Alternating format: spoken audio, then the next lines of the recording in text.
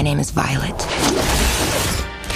My name is Violet. I was born into a world you may not understand. May not understand. May not Let me start at the beginning. Everything changed when a government lab discovered a virus that caused genetic mutation. They used it to create faster and stronger soldiers. The problem was, we became a threat.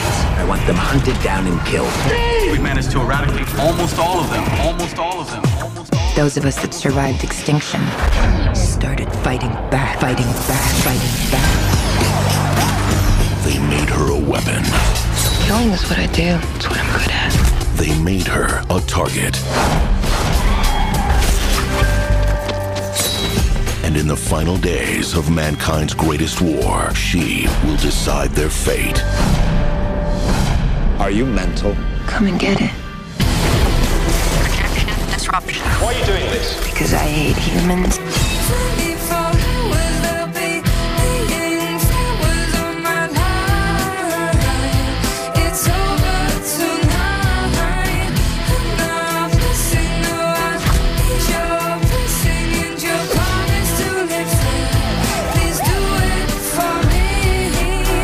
My name is Violet. I was born into a world you may not understand.